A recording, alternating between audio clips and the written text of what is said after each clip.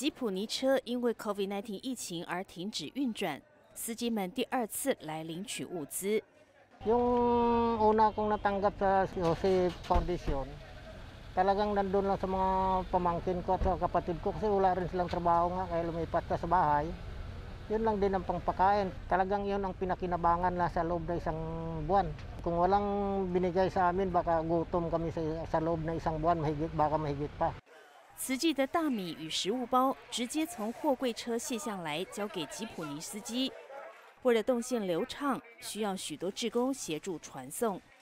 Ang trabaho ko talaga ay family driver nila Ate Chong. Di, mas gusto ko pang tumulong na lang kasi uupo-upo lang ako sa kotse. Nainip naman ako lang ginagawa. Kahit papano, makatulong man lang tayo kahit sa ganyang paraan lang.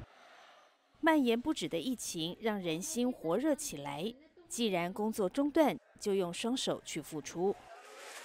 Pag ah, ginawa natin yung kabutihan at tumutulong tayo, nagbo-volunteer tayo, at saka nakikita natin yung mga tao nangangailangan at nabigyan, medyo maganda yung ano, pakiramdam, ah, nakakataba po ng puso at ah, yung mga tao natutulungan, ah, kita natin sa kanilang puso at saka mukha nila, medyo masaya.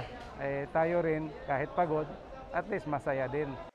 爱心循环处处现，吉普尼司机带着竹筒回到发放现场，而周围有交通运输工作队出动了电动车温馨接送情。